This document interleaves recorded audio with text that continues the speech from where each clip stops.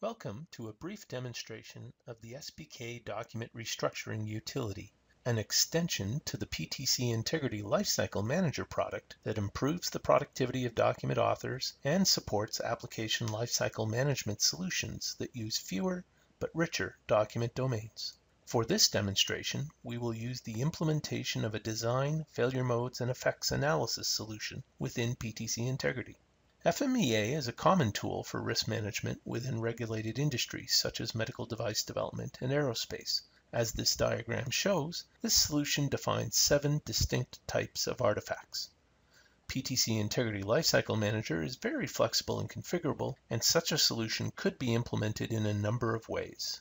One possible approach, and historically a common one with PTC Integrity Lifecycle Manager, has been to implement such a solution using relatively simple flat document domains, as shown here. While this allows for very tailored document views for each of the document types, it has the downside of requiring a large number of documents to capture the overall analysis. This makes it hard to see the big picture, with the various flat documents providing relatively disjointed views into slices of the overall analysis, and the users performing the analysis having to switch back and forth between the various documents as they enter their findings. An alternative approach is to use fewer but richer document domains to implement the solution. One-to-many trace relationships align naturally with the document hierarchy structure implemented by PTC Integrity. Let me demonstrate.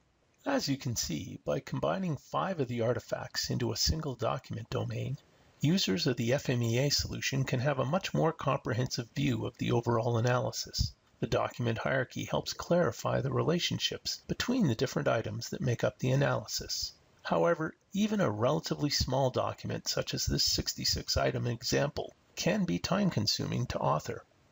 Here we have another copy of the failure modes document we just saw but this time as a flat sequence of content items without any trace relationships established. It can be a time-consuming operation for the user to manually create the document structure and establish the relationships between the elements in the document. Here I am indenting the child items of the first feature and establishing half a dozen trace relationships. And as you will see, that will take me about a minute and a half, working as quickly as possible within the PTC Integrity client. It is recommended practice to use name trace relationships to establish traceability between the artifacts that make up the meaningful content of a solution, such as this FMEA document. The document structure hierarchy does not constrain what can be contained by what, so it is easy to accidentally make an inappropriate artifact a child of another. Name trace relationships prevent that class of traceability problems.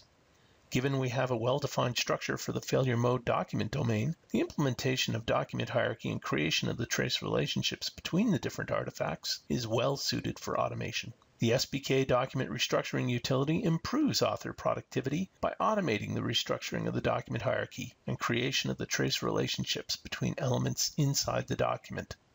Users can create flat documents where the content items are in the correct order, then invoke the utility from a custom button. Now I will invoke the SPK document restructuring utility on another flat unstructured copy of the FMEA document. Once the custom button is invoked, the utility prompts the user for their PTC integrity credentials. All restructuring updates are performed as the user, ensuring the document history records who did the restructuring. The utility then reads the definition of the document domain structure and desired trace relationships from a parameter file stored on the PTC Integrity server and performs the restructuring based on that definition. A single parameter file stores the structure definition for any number of document domains within the PTC Integrity solution. The tool is not limited to working with only one type of document. The utility not only handles restructuring the defined artifact types of the document domain, it can also move all document content under containing headings, which are also defined within the parameter file on a per document domain basis. The SPK document restructuring utility also handles moving artifacts higher or lower in the document hierarchy, as long as they are properly ordered. The utility takes a very conservative approach to restructuring. If an item is not ordered properly for correct restructuring or is not an artifact defined for restructuring, the utility leaves it alone within the document and logs a message about what it found. The utility pops up a dialog notifying the user when document restructuring is completed. The SPK document restructuring utility processed the entire 66 item document in under a minute. The SPK document restructuring utility is a shipping commercial product fully supported by SPK and Associates for versions 10.0 through 10.7 of the PTC Integrity Lifecycle Manager.